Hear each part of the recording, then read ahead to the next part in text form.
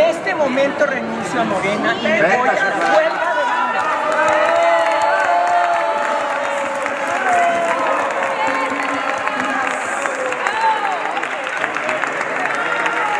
¿Y saben qué iba a decir?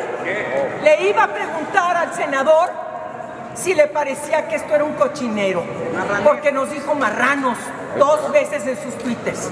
Eso iba a ser, iba a defender a mi grupo parlamentario, no soy capaz de defenderlo.